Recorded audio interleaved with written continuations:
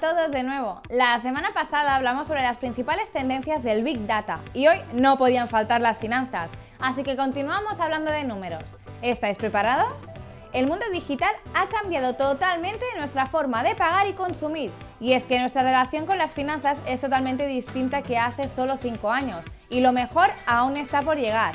Es por eso que a continuación os voy a contar las tendencias principales que nos depararán las finanzas este 2020. La primera tendencia es la desaparición de los bancos tradicionales y es que estudios realizados en Estados Unidos remarcan que ha aumentado los servicios de la banca móvil y online en la última década. Por lo tanto, cada vez más se están implementando las operaciones bancarias online, por lo que han disminuido la necesidad de acudir a las oficinas bancarias. Otra tendencia es la automatización robótica, y es que con esto se puede ahorrar mano de obra, costos operativos y minimizar errores muchas instituciones financieras están comenzando a aprovechar esta tecnología para crear la mejor experiencia de usuario posible para los clientes y seguir siendo competitivos. La tercera tendencia son los RPA.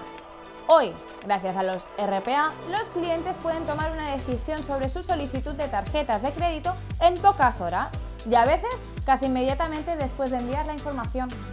Por otro lado, encontramos la ciberseguridad, un punto muy importante en el que se van a centrar las empresas este año. Los ataques que se han realizado durante el 2019 han sido consecuencia de errores en los controles de seguridad y en la privacidad. Así que este año las empresas se van a centrar en el uso de la tecnología y en procurar y garantizar su seguridad para todos los datos de los usuarios. En el crowdfunding veremos también una clara tendencia durante el 2020 a finales del 2019 ya se veía cómo plataformas como Indiegogo tomaban la iniciativa en este campo con funciones como la selección de tallas, colores o modelos en las recompensas que se plantean en una campaña. Por otro lado, la plataforma Patreon también está mejorando su plataforma desde finales del 2019. Ha añadido diferentes planes de precios y empieza a ofrecer servicios a los creadores de campaña. Por último, este 2020 seguiremos oyendo hablar del blockchain y la inteligencia artificial. 2019 ha sido un año donde la banca tradicional ha dado importantes pasos para posicionarse en fintech.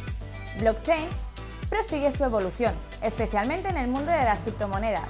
Estas son las tendencias principales que nos depararán las finanzas para este 2020. Esperamos que os hayan parecido súper interesantes y también os dejamos el artículo del blog en la cajita de información. Recordaros que en nuestro canal podréis ver los distintos vídeos de tendencias para este año y si aún queréis profundizar más y convertiros en grandes profesionales, no os preocupéis, la semana que viene os traeremos mucho más.